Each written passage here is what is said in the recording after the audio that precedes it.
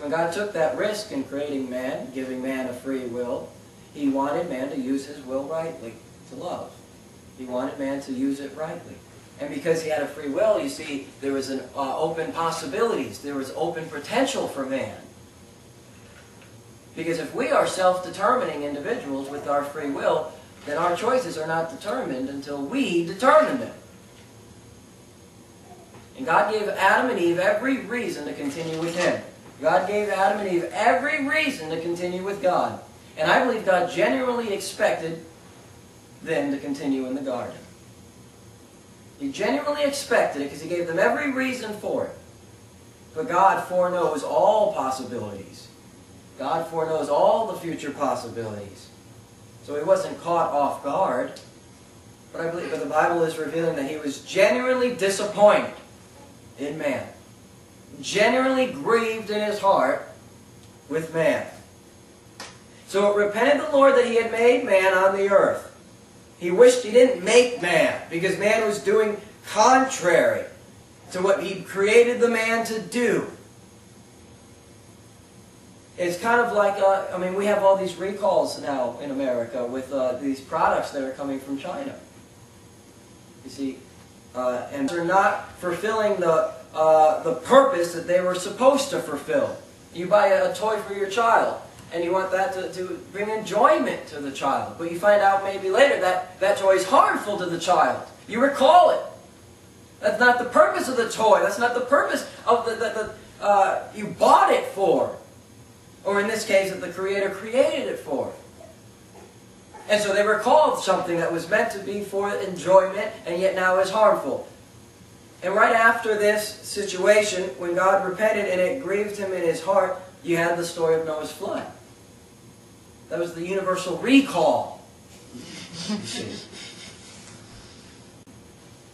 uh, I was talking to um, David Ravenhill, and he was, we were talking about this passage, and he says, he, you know, he, when he was working with churches, they would try and um, help the little kids, the little children to understand biblical truths and biblical principles.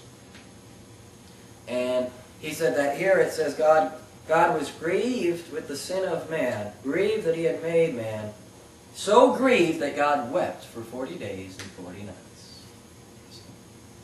That's the story of Noah's flood. But it was a general, it was, it was a universal recall God says, I wish I didn't make these people.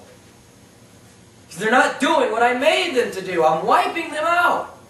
I'm taking it back, he says. I'm starting over. That's what a manufacturer does. You make a, you make a mistake uh, in, in this product, or this product malfunctions on its own, you see. And uh, you take it off the market. You wipe it out, and, and, you, and you start over again. And so man malfunctioned of his own accord, of his own free will, man malfunctioned and chose to live selfish and in rebellion against the divine intelligence and the divine God, to, to live in rebellion against what God had told him to do. So it grieved him at his heart. I think this passage gives such insight into the heart of God.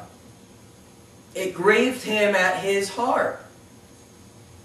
So here, this passage talks about the heart of man and the heart of God. And the two are not the same. The heart of man was on evil. The heart of God is good.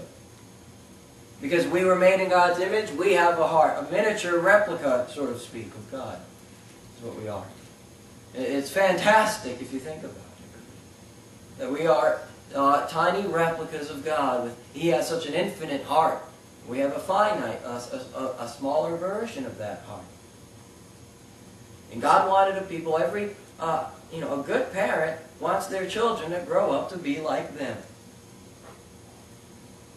That's what a, a, a, parent expects and what a parent desires and, and raises that child and tries to give that child every reason to obey and to do what is right. Uh, you think of family government and a, a parent tells the child, eat your vegetables.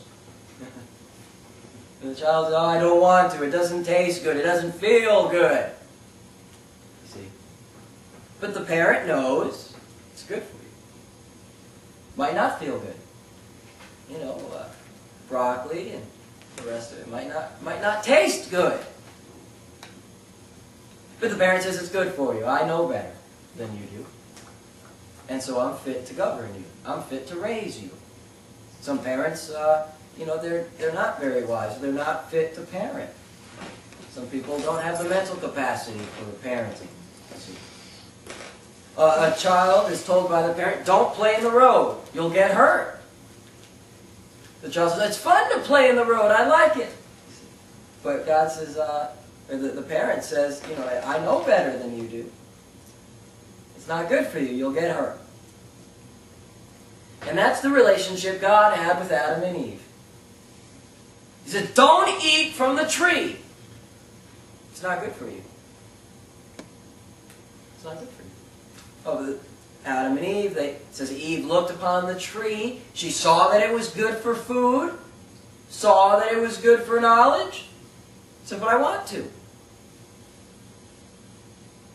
So she did it. So she acted on what she, uh, what she thought would feel good, rather than acting upon what she knew was good. To live by her emotions rather than by her intelligence. Because the emotions, the, uh, the flesh, that's the contact point of the devil.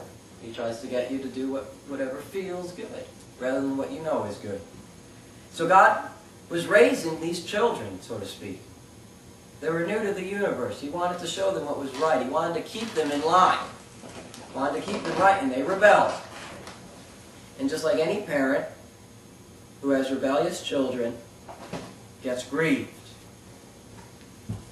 at their disobedience. Why? Because that, uh, that parent had such higher hopes, such higher expectations, wanted something good for that child.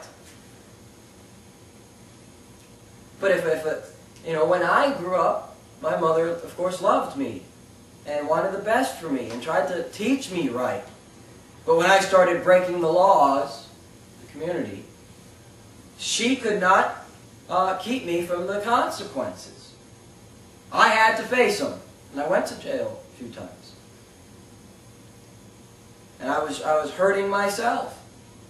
But you need to protect the community and so God needs to protect His creation from that which is harmful destructive to everything that's valuable. That's why He needs to separate the wicked from the righteous. Because the wicked are a threat to themselves. They're a threat to everything around them. They're a threat.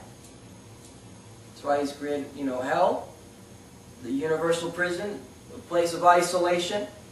The Bible says there's weeping and wailing and gnashing of teeth. It's utter darkness. And uh, as I've said before, heaven will be heaven because there's no sin there. Heaven wouldn't be heaven if there was sin. Heaven wouldn't be heaven if everyone's lying to each other, stealing from each other, murdering each other. That doesn't sound like heaven. That sounds like earth. That sounds like hell, in a way. And uh, so heaven will be heaven because there's no sin there, because there's God there. There's a God of love there. There's loving people there. There's loving saints there. They're going to love each other. There, people are going to worship God. They're not going to be sinning against each other, sinning against themselves, sinning against God. There'll be peace there because there's no sin there. There'll be well-being there because there's no sin there. It's beautiful. And that's what, you know, that's what the will of God is, not merely for heaven, but for everything. Because he says, as it is in heaven, uh, we're supposed to pray, uh, your kingdom come on earth as it is in heaven. That's God's will for earth. Secret, revealed, uh, sovereign, whatever you want to call it, that's God's will for earth. That it be uh, as it is in heaven.